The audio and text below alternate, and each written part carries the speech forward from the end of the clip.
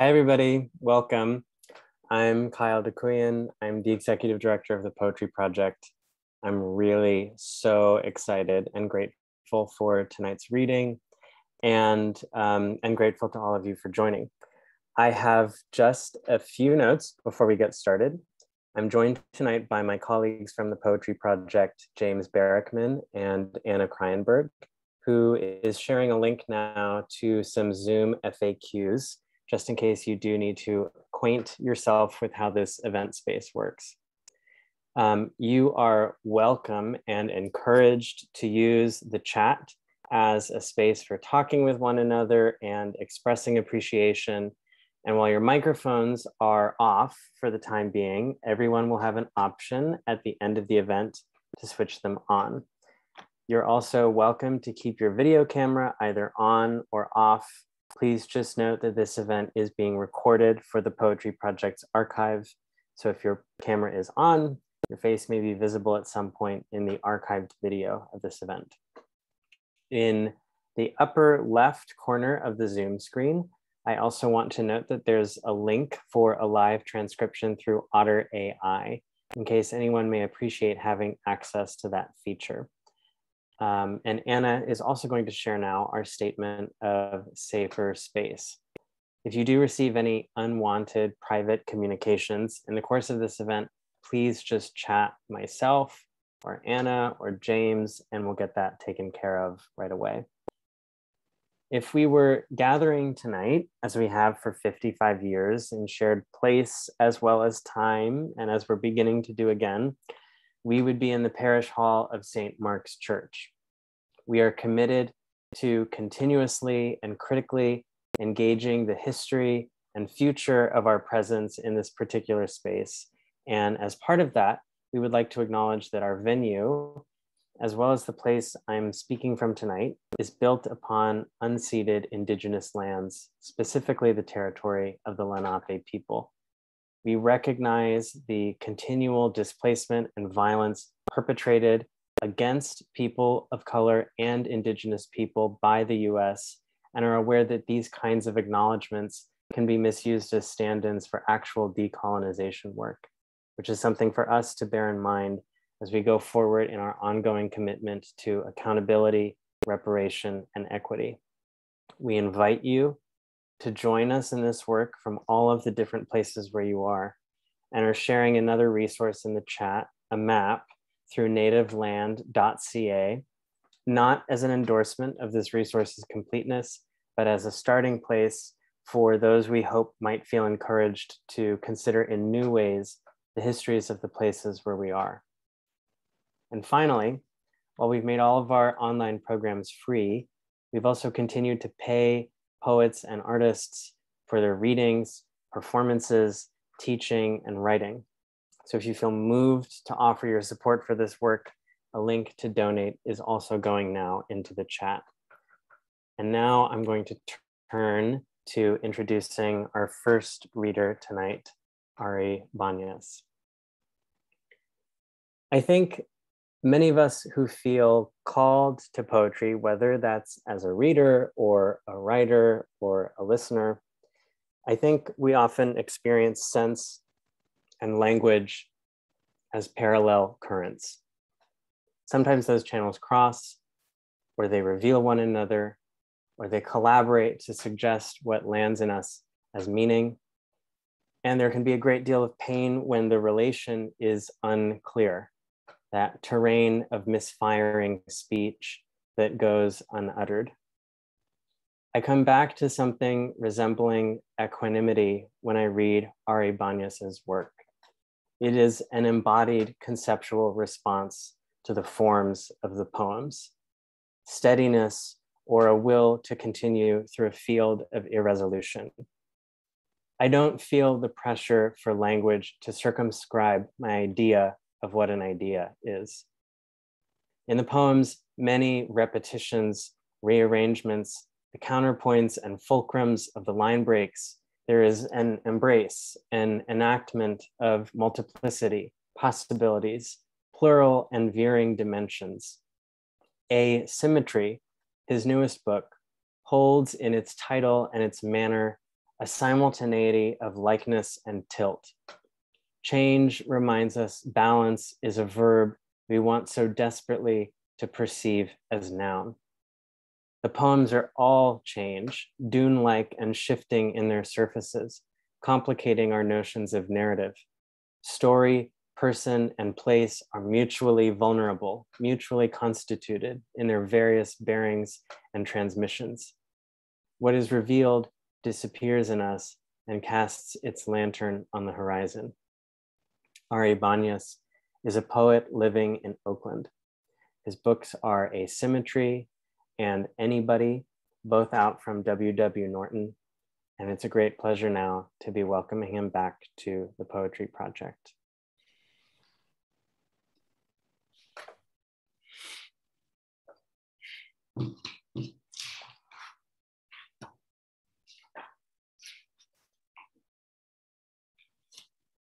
Tautology. I had a body and it was good until you gave it meaning. Meaning ruined pleasure and created it. So ruin creates, and pleasures meaning I didn't ask for, just lived through. A gate that shrieked each time it opened, and on the street we passed one another, flicking our eyes at then away from the bodies made boring by the small clamors that drown out the one large clamor. Something in the tree is arguing with the tree. No, that's just the tree. Um, Kyle, thank you for that um, just really beautiful introduction. Um, I'm so honored to be here reading with Silvina and reading from this book um, that just came out a month ago. Um, so I'm just gonna keep doing that. And it's just so beautiful to see all of you. Um,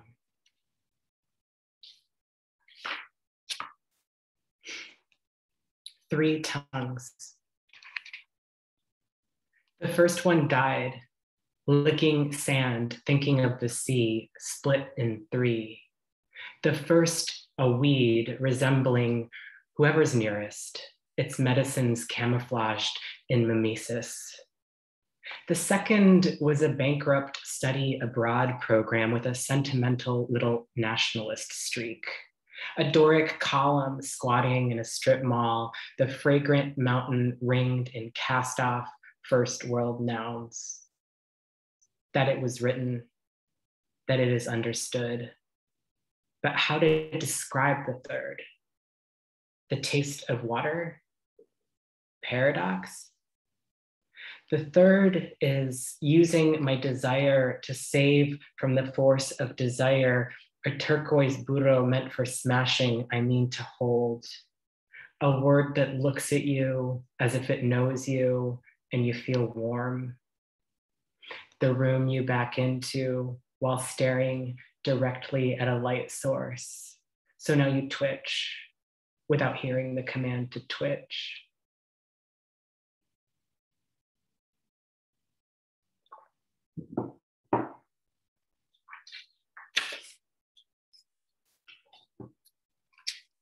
So that the etymology of the word symmetry is, um, I believe it's from the Greek and it's with measure, symmetria. This poem is called With Measure. And you can't see them, but there are little X's between the phrases that are kind of like dimension, dimension, like demarcating dimension. So I'm not, I'm not going to read the X's out loud. You'll just have to imagine them. With measure. The sweat, the slabs, the proportions, the sun's calculable angle, hours chiseled, the subtraction of color, bootlicking oaths, honey, the accent's placement, morning clothes, tired comparisons, the carrying it forward, centuries balancing it on her heads, the grief sellers, the followers, the rapist minor gods, buttery calf skin ripped from its cry, aging proteges, soft but not quite pretty enough boys, democracy launderers, shit shovelers, deathless kings, the lips, the pits, tender cunts of every iteration, scouring rags, candle dippers, elastic scrotal skin, bottomless refills, back to normal, the strays cropped out. Clotted tongues, factory farmed embarrassed poets, scale replicas. The package tour, sculpted wastewater channel, hypotenuse, inclusion, inexhaustible lazy olive branch motifs.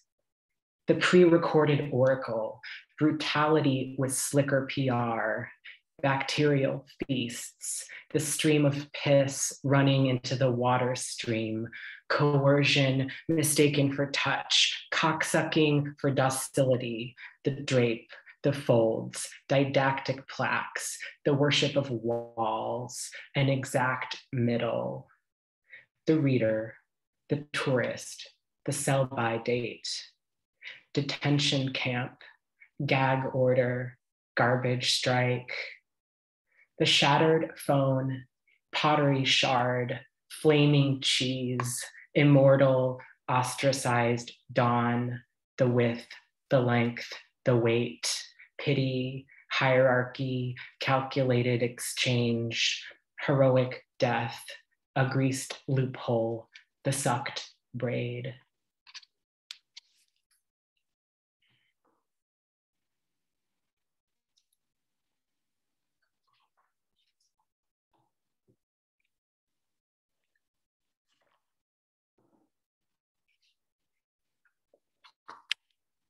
Contingency.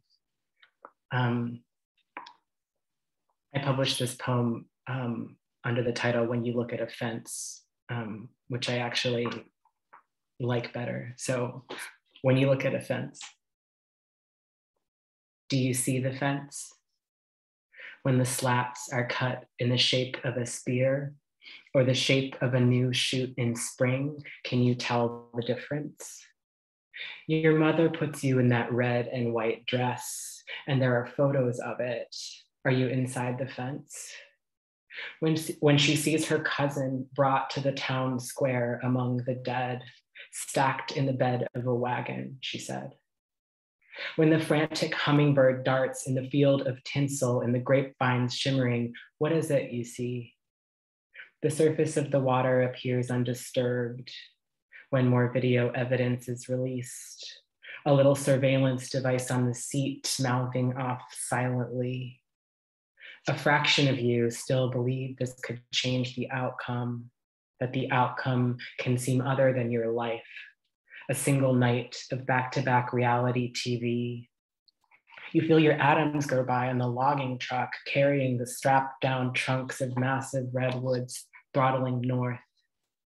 You see a woman bowing over a trash can repeatedly, and she looks like she prays to, Oh, help her. Who made you think that?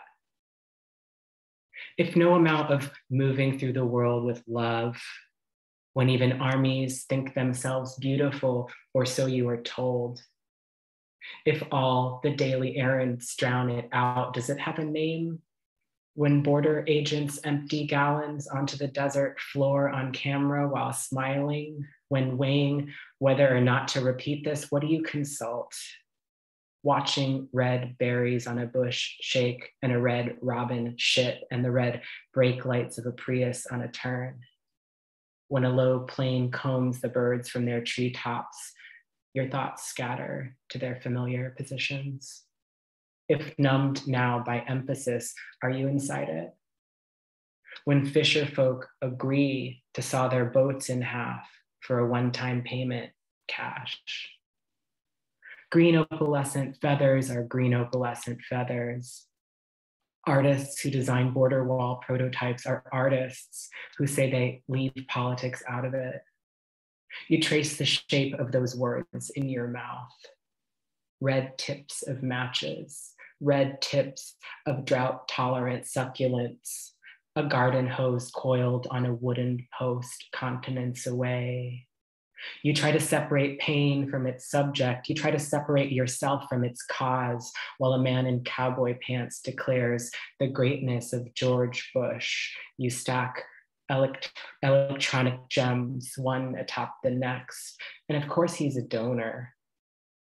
By remaining in the building, you become what the building contains the joint in a polished oak bench, the exhausted cloth applying the polish. When by fucking so hard you try to make your body reappear, are you inside the fence when you saw your neighbor keeping her head down and wondered if you should keep your head down? You heard your neighbor screaming in the street and knew you should also scream.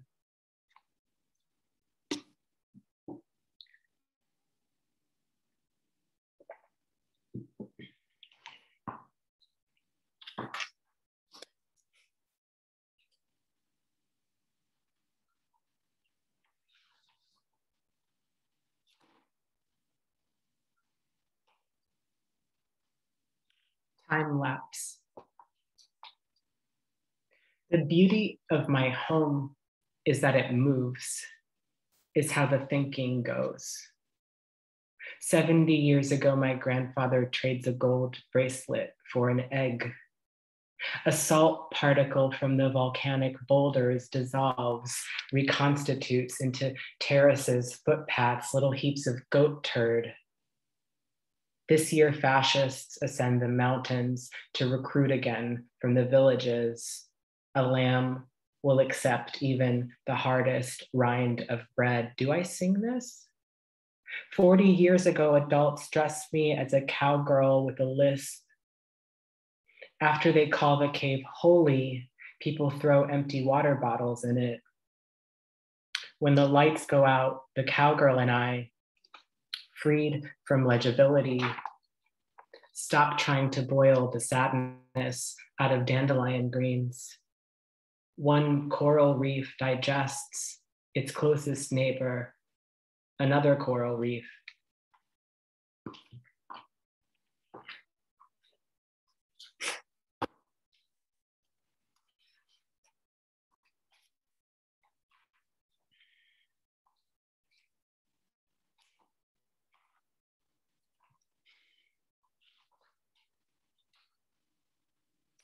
Post-it notes are getting in the way of me turning the pages.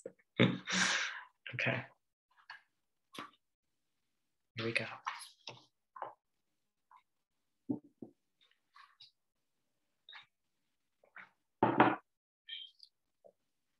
I didn't I didn't say this before, but I, I kind of um, I'm, I'm sure a lot of people in this in this room Zoom room are, are have been thinking about Etel Adnan, and um, I just been thinking about her a lot and I just wanted to say that. And um, I, I, never got to meet her other than on the page, but um, yeah, I've just been thinking about her so much these last two days. So um,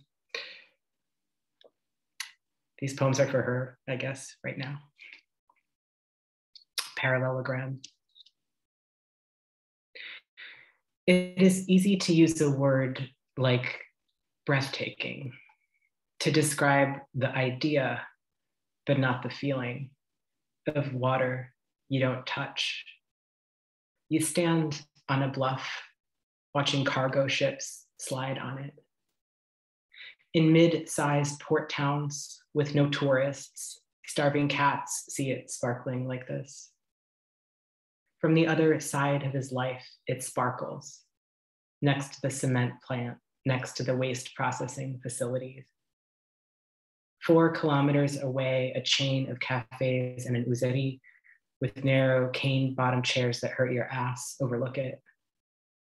On windy days, the white caps resemble distant sheep. From the yard, it's new each time she sees it.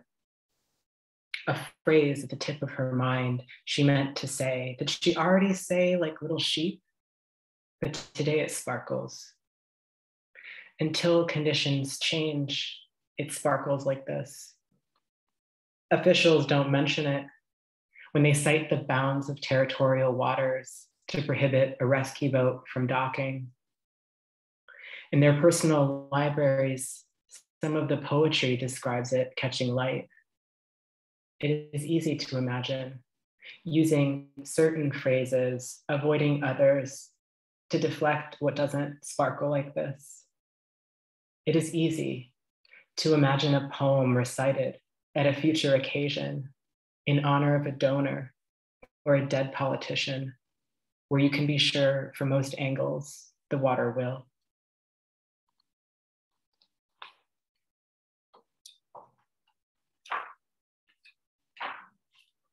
Meander, meandros.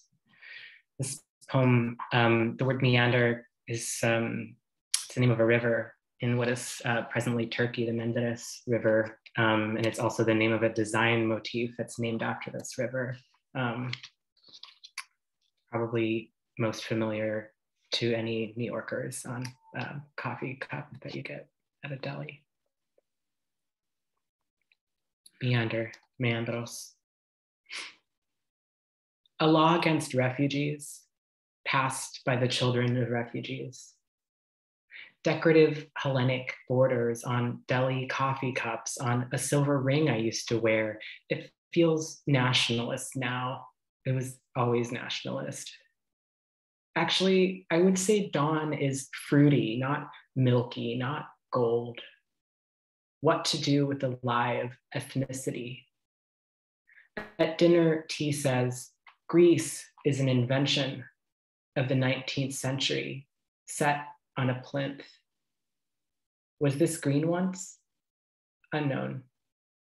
The cicadas go on.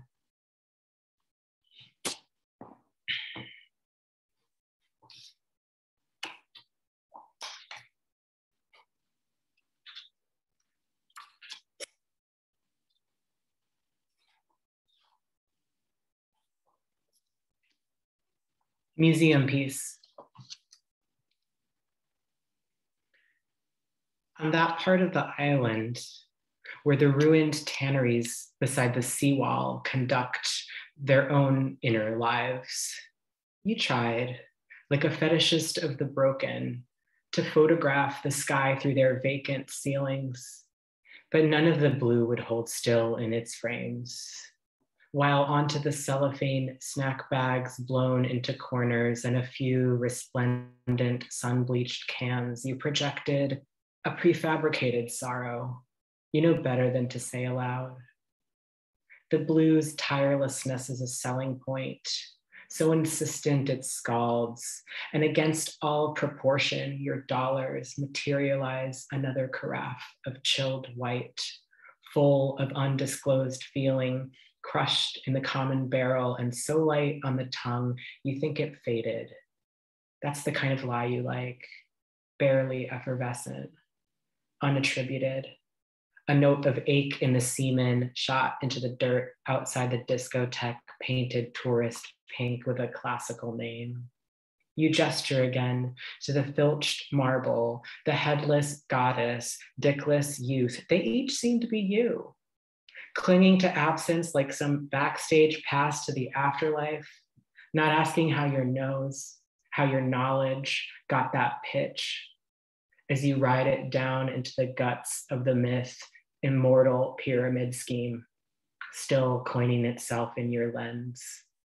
A little shroud made only of sunlight, only of sunlight and the chewed quarter rind of watermelon balanced on a cement post at a construction project paused for mismanagement of funds.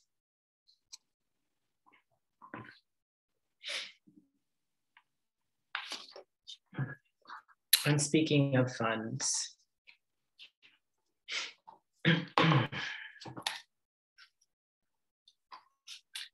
um, you don't really need to know this about this poem, but um, but I will tell you anyway, which is that um,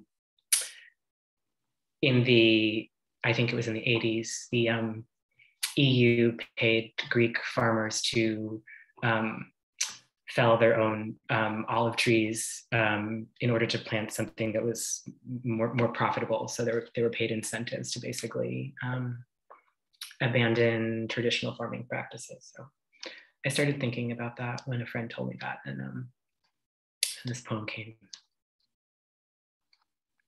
pronoun study. They paid them to cut their olive trees down. You paid them to cut their olive trees down.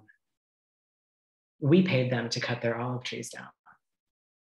They paid you to cut your olive trees down. We paid you to cut our olive trees down. They paid you to cut their olive trees down. We paid them to cut our olive trees down. They paid us to cut their olive trees down. They paid us to cut your olive trees down. We paid you to cut their olive trees down. We paid them to cut your olive trees down. You paid them to cut our olive trees down. You paid us to cut our olive trees down. We paid you to cut your olive trees down. They paid us to cut our olive trees down.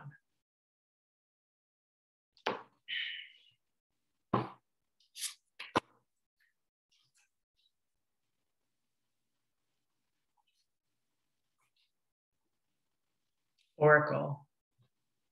This is the opening poem. I'm reading all out of order. It's fun. Oracle. I was wrong. It isn't suffering that's easy, pleasure that's difficult.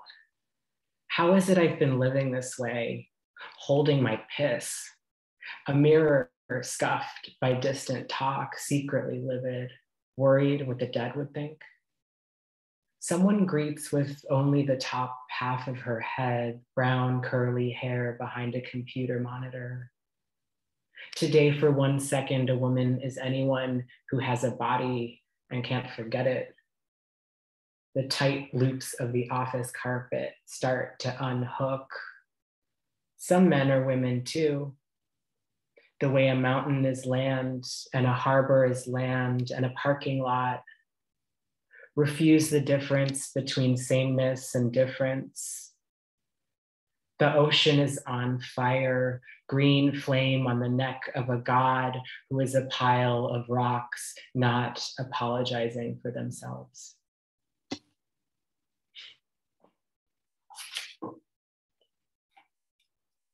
Waste. A piece of pleated gold wrapping from a poinsettia in yesterday's downpour, caught and rode the gushing current downhill.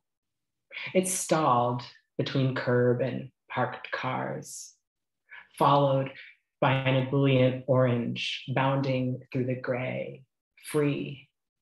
The orange exited the narrative. We have more work to do. This morning, the gold thing still hanging around next to a parked car like a big empty flower or a loud hat, lightly stirring, not pinned. I remember two ladies from St. Margaret Mary carrying wilted poinsettias to the trash on a windy day. The gold is joined by a purple ball of tissue, resembling one of those horrible plastic shower poofs. Our purpose is not what they told us our purpose is.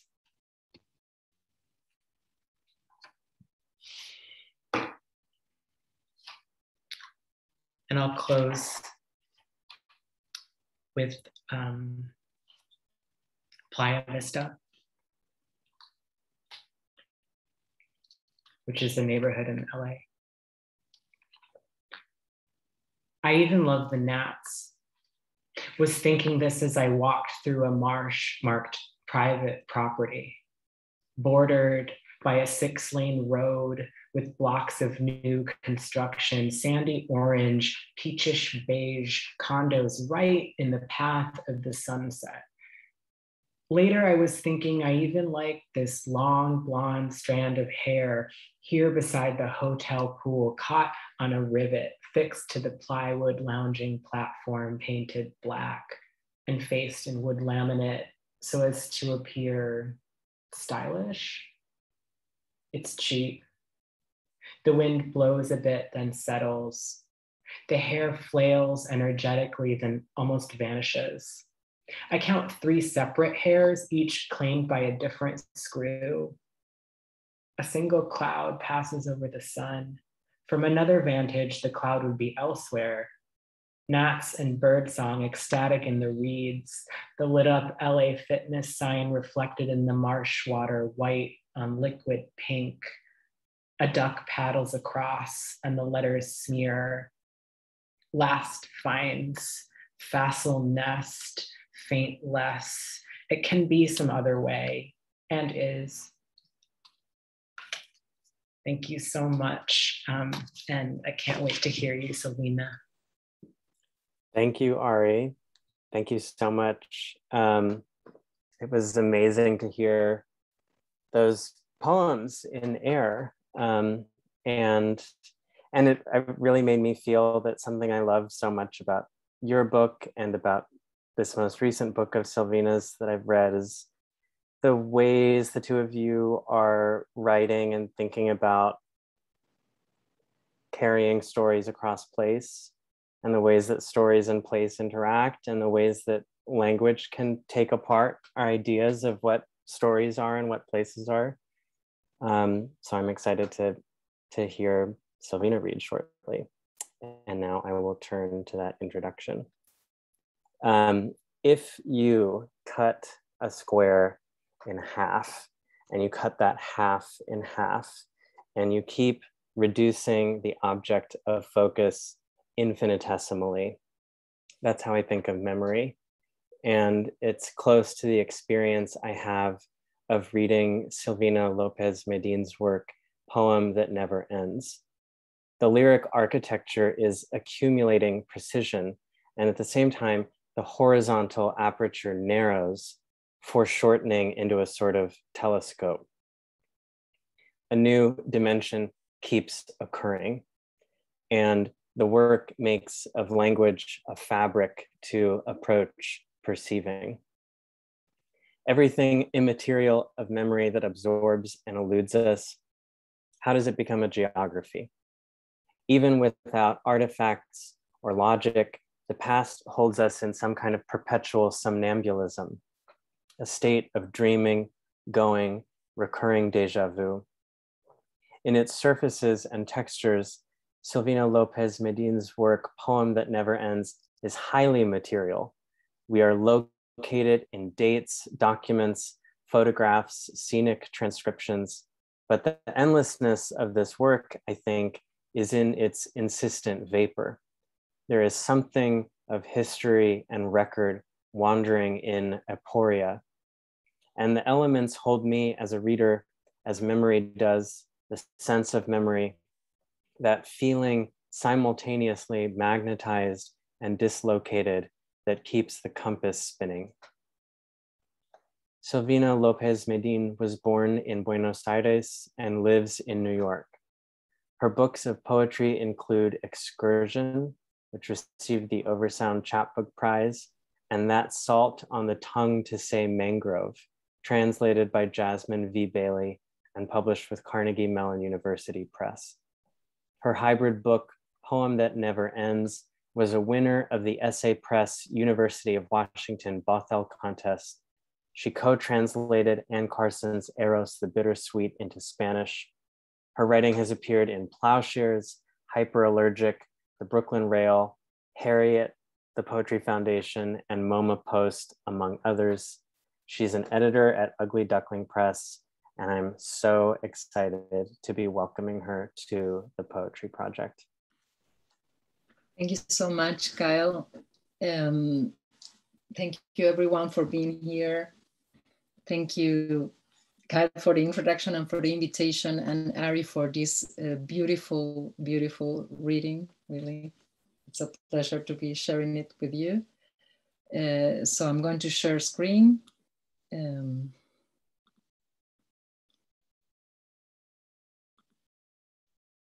Okay.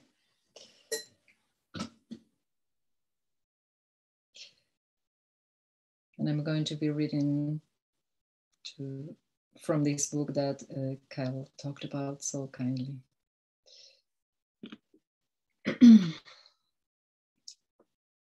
the sound of blinds being pulled up is the first sound. It's in your hands, the weight of the slats, all slightly bent to one side, as someone that bends with their ear towards the other, trying to hear more. What? Your grandmother, like your mother, could only hear 30% of all things. You cross out the word grandmother, you'll say your mother's mother. You'd rather have the word repeated, mother. Build a chain with no missing ring. You're not pulling yet, but it's in your hands, the chain that raises the metal slats. You hear what your mother's mother wouldn't hear, the slats clattering. She, who used to live between blades, her scissors silent to her, opening and closing on the clothes, cutting, cutting, until what? Until she reached an edge, a pair of eyes looking at her from the other side of the sewing table. Her daughter herself at table, not flat, not smooth, the top filled with pieces of broken wood, broken, can stick in your skin. A daughter, a table made of broken things, but varnished, protected. Sorry, I have to, uh, sorry. A table made of broken things, but varnished, protected, protective, like the blinds you're not yet pulling, to open and close, to cut until, to look up and see someone, not knowing what to do with the weight of a stair or top of the table, sharp points that don't hurt, but shine, shine, varnished, to separate the cloth just cut into pieces. This is not your daughter, this is not you, and yet you are a mother. She's your mother's mother, you're pulling. I asked my mother to send me the letters that her mother used to send her from Paraguay, where my mother was born, to Argentina, where she moved at 19, where I was born. I estimate she must have received around 126 letters from her mother during her lifetime. Each time she received a letter, she would read it once and then rip it into pieces. She was able to send me only two of her mother's letters. The two letters that she kept were the ones in which among the usual comments her mother made about her work as a seamstress, she speaks about life, she speaks about death. One letter is from 1980, the year my brother was born, the year before my mother's father died. Her mother abandoned her for three years. From the time she was three years old until she was six, my mother lived with her aunts in a town called Piribebuy, 72 kilometers from Asuncion, the capital city. 72 kilometers from her daughter. During those three years, she was never visited. My mother never talks about that. Piribebuy in Guarani means shiver or soft breeze. It rises from the scene, shoots out of it like an arrow, and pierces me, says Roland Barthes about a central element in photographs. He ends up calling it punctum, but I keep the first name he gives it. What is the wound, mother, in this photograph? A question I can think about, not ask. The image my mother captured with her phone, the photograph of the photograph, like memory retold. Is that the wound? What's lost between the original print version and my mother's digital one? Some resolution, some precision, the original is on an upper shelf, deep in a box whose lid my mother needs to lift. She needs to get a ladder first, lean it against the wall, stretch her long arms all the way back there, so she cannot reach again now, she says. The original. When I zoom it in on this digital version, it's hard to see any details. So dark the background, it gives no indication of place. And then it rises from the scene, shoots out of it like an arrow, and pierces me. The flash, bouncing off my father's glasses. That light signals what the photographer, my father's mother, was looking at. Her son's eyes, mother, flash, son, the glass that's always in between.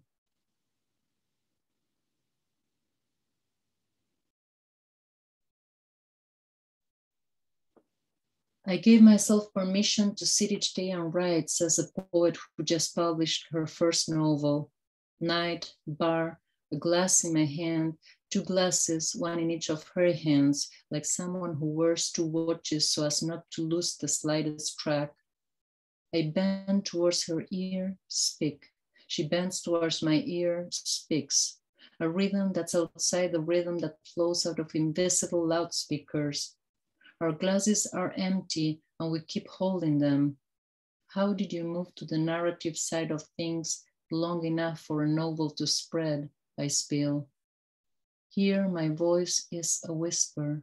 Somewhere else would be a shout.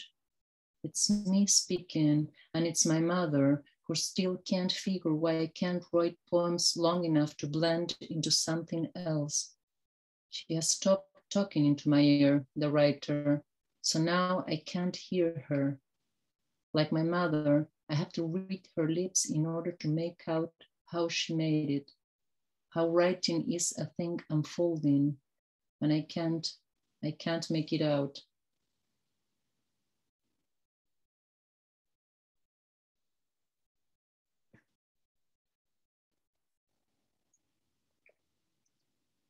You will not look straight at the camera except when you are told to do so. You will forget. You will forget you will forget that this is you. I think it can be done. You will also forget about the camera, but above all, you will forget that this is you. You. Yes, I think it's possible to achieve that from other perspectives. For instance, the perspective of motherhood, of your motherhood lost in a dominant nameless motherhood. The opening of Marguerite Duras' film, The Atlantic Man, I replaced the word death with motherhood.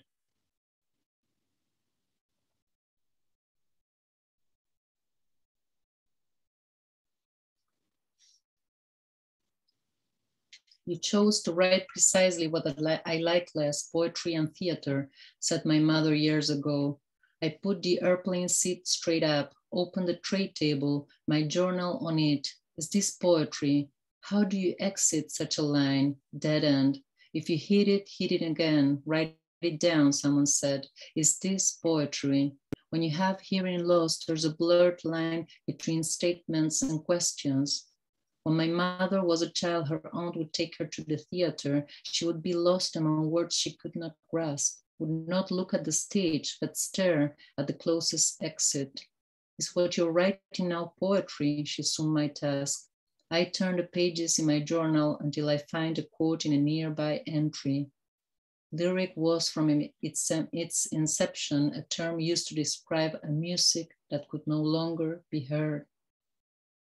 A metallic sound precedes the voice on the loudspeaker. We have begun our descent. Stow your tray table, pass any remaining service items and unwanted reading materials to the flight attendant.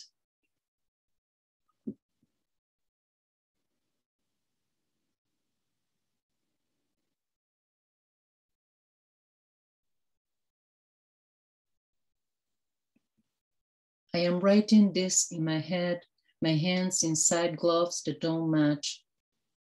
I lose at least one from the pair per season and hold on to the other. That single glove left behind still contains the lost one. That is to say, on the winter break, I read Pascal Quignard. In every image, there's a missing image, says he. I add, in every sound, there's a missing sound. Say, my mother, how she because of her hearing impairment, is permanently reconstructing sentences from fragments. Isn't that writing? I am walking nine blocks back home from the subway. It is minus 18 degrees, and I'll never know how to turn that into Fahrenheit or how at times I focus on something so much as to become something else. Gloves prevent us from breaking apart gloves are not relevant in Buenos Aires. This school does not exist. the kind that makes you turn not only your head, but your whole body just to look at what's coming. I did not write much back there, just brought a couple of summer images, my mother and I at night standing in front of a white wall, killing mosquitoes. My mother, my sons, I in the backyard, hurrying to take away the clothes from the clothesline and the light rain. My watch does not understand the instability of February. It keeps going. As if today were the 29th, it says 29. So I have to change it manually, pull the crown, push it in, pull again until what's hardest to find, the middle position, then rotate to the correct date, one. March begins. March is the month in my mother's mother letter, one of the two my mother kept the one written in red ink, March 1980. The date isn't certain, looks like a nine on top of a five or vice versa.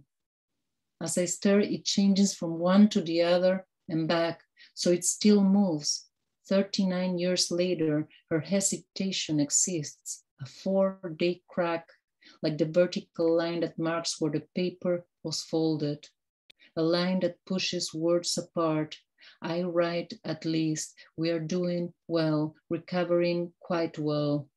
In this letter, my mother's mother writes as if she were trying to catch her breath while, like my watch, she keeps going. She uses no period for almost entire page. For who would they dare stop her? She says, your father. She says, his surgery. She says, complication twice, not as a fact, but as something to chase away. She goes on talking about my mother's soon to come son. She says, we might be able to travel, then leaves the uncertainty behind. We'll be expecting your phone call. I'm going to send you. I'm going to send you. I'm going to send you. I see her, her body bent over the page that lies on her sewing table, red pen in hand, the same determined posture she had when mopping the floor in the middle of the night, the whole night, back, forth, back, forth, the distorted echo of a faraway dance beyond any remnant of dust, any crease or crack in time. Her grandson born days later, her husband until the next year, alive.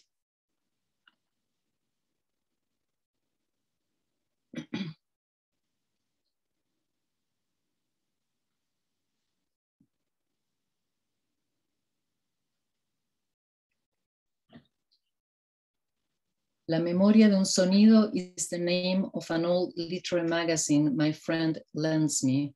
The memory of a sound. First issue of the two it lasted. Just two, like a direct sound and its reflection. Waves crashing against walls or child running into a mother's hard lap. When you first realize that your parents are as abandoned as yourself, you are filled with terror you start asking yourself, who's the caregiver here? Says Argentine filmmaker Lucrecia Martel in an interview in the magazine. Scene, exterior, day, veranda in Buenos Aires, February 2012.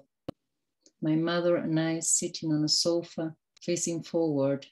She's talking about her eldest brother who recently died in a car accident those years my mother left me with my aunts. He was the only one that visited me. She sobs. She's split in half. She's at her aunt's house with her brother. She's here on the veranda with me. I cannot hold the pieces. We are facing forward. I cannot turn around. The sofa fabric is plastic, rigid. I can feel its pattern marking the backs of our thighs. It was on February 21, 2012, almost one year since the birth of my eldest son. The phone rang. It was my mother's voice saying, Enrique is dead. A bus ran over him. He did not hear the horn. No introduction, no details, no real conclusion. A chain of facts broken, pieces scattered. My uncle's hearing impairment was more severe than my mother's. It was hard for him to articulate most sounds. It was sometimes hard for us to understand not him, but the words coming from him. Yet he insisted. He did not mind parting words, repeating, asking back. Words would become more material. We could almost touch them. In the interview, Martel goes on to speak about speech and time. When someone talks, they may use verbs in the present, past, or future tense. This temporary, temporal quality of words dissolves the idea of consecutive, chronological flow. In this photo, there is a sepia layer of my mother and her brother in the 1950s, sitting close, though not holding each other. And then there is a red spot, the present tense of my mother's nail polish, her fingers holding her phone to take a photo of the photo, her fingers holding themselves.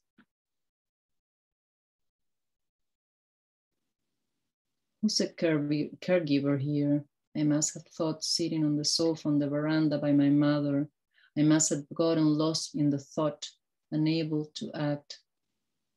I wrote a poem about it, a piece left out of some past book. I won't translate it from my native language, so you can at least read this, mother. Siesta. Nos dábamos la espalda. Ese sonido ahogado, madre, ¿qué era? Por primera vez te escuchaba llorar. Me quedé quieta, apreté la almohada contra la oreja, la almohada con el olor de tu pelo. No pregunté, no me di vuelta, esperé que pasara, pero crecía tu llanto entre las dos. Hicimos lo que pudimos, quedarnos cada una en su lugar y en algún momento dormirnos.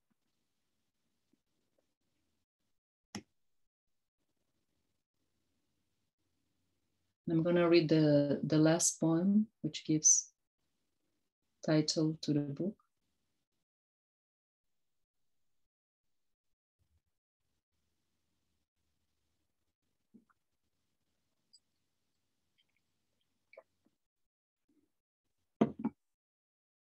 poem that never ends.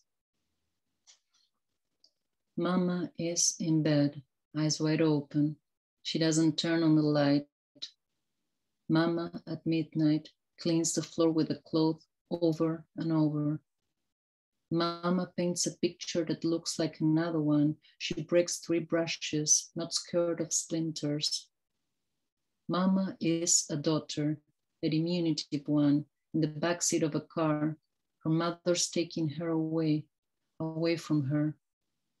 Mama at the door, staring at the red scarf on her mother's neck. Mama writes an entire page to the teacher, words lean forward as if towards something they're trying to touch. Mama writes. Mama is a teacher. Mama places a pattern on a piece of cloth, cuts around it, cuts a circle on her skin. The scar is a spider. Mama spins her own clothes, scissors on the side. Mama turns bangs into a crooked hem. Mama teaches me how to draw trees that bend, pretending movement. Mama, wound, breath, breeze. Mama demands stillness, carries on her neck the weight of a camera. Mama has lost the voices of birds. Mama, silence so still, as if she's about to have her photo taken. Mama got lost under a table. She moves around the living room. Lights turn themselves on over her. Mama waits in the line that surrounds the dance school. Her father's body blocks the door. Mama draws her family on a paper. She's the tallest one, so tall, her head goes out of the page. Mama draws all the family except herself. Mama paints a self portrait. Everything is a self portrait she gets tired of. Mama transports words to another tongue.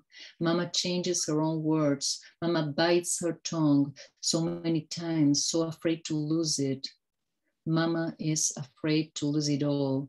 Mama is a tongue. She splits herself in half because she wants to. Mama sits on top of someone else. She sways. She expands like a drop of ink in a piece of cloth. Mama closes her eyes, makes up a prayer to put herself to sleep. Mama is sinking. No one warns her of false darkness. Mama wakes up dead. Mama comes from a land surrounded by more land, comes on the lowest part of a boat below waterline. She sees fish she doesn't see. Mama in the ocean with needles on her belly. Mama is a mother. Mama is a mother. Mama keeps a bit of a song she doesn't know. Mama hugs me, and there is always between us a cushion or a stone. Mama in summer sleeps in a nightgown soaked in bathtub water. Mama wants to return to that summer. Mama wants to turn around.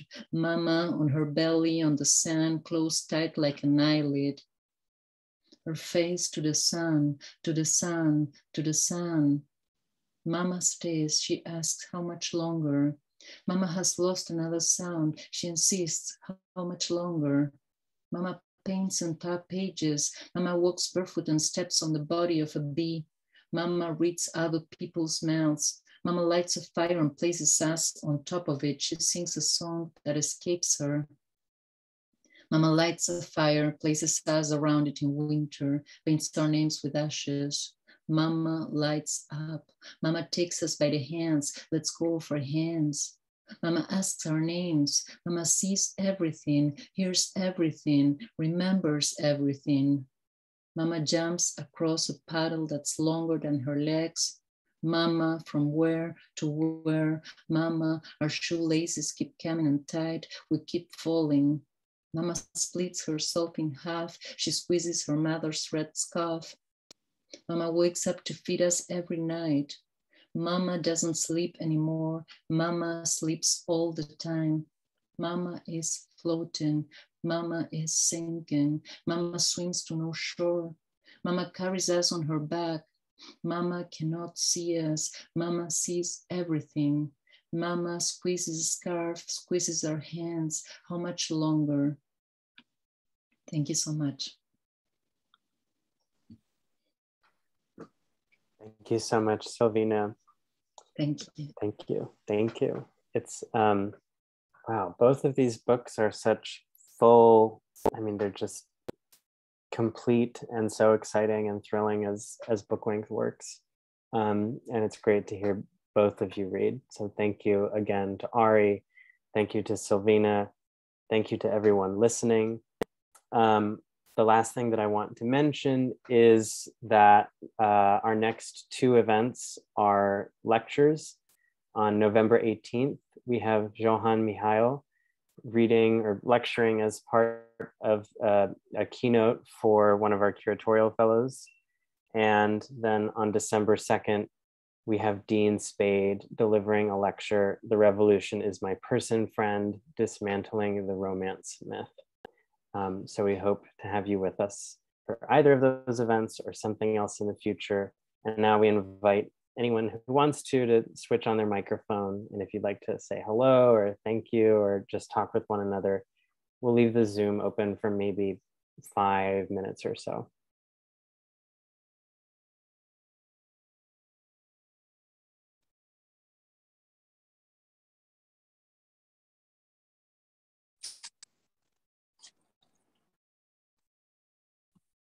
Yeah, hi, thank you.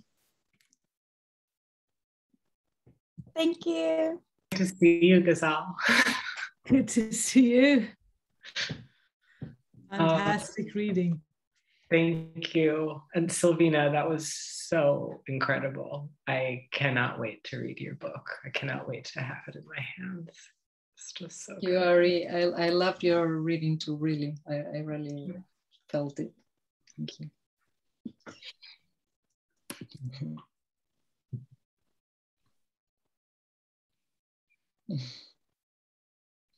So good night to everyone. It's pretty late here. good night, Gazelle. Thank you for coming. Thank you. Thanks, Ari. Hey guys, thanks for coming. So good to see you. Oh, so good to see you too. Wonderful. Thanks.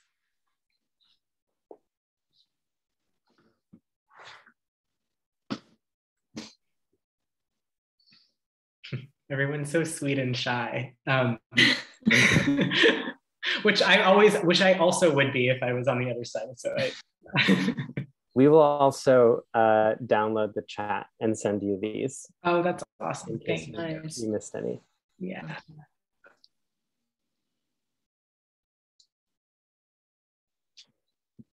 Well, it's just us 16 now. Anyone want to say anything? I'm just kidding. Thank you all so much. Yeah. For, um, really. And Yeah, yeah, really. I really enjoyed the reading. I didn't get a chance to say thank you to like all the staff of, of Poetry Project because I was so like moved by your intro, Kyle. But like thank you to everyone who who worked on this event. Yeah, it's so wonderful to work with James. And I don't know if Anna's still in the room, but um, just a real dream team. Um, I think I'm feeling like this is the end of our night, but I'm so appreciative to have heard both of these readings. And I can't wait to follow everything else that you all share subsequently. So, good Thank night. you again, Kyle, and thank you. everyone. Wow. Thank you so much, Silvina. Um, Okay, I'll look for your beautiful book. night. Likewise, likewise. Have a beautiful night, everyone. Good night. Yeah. Good night.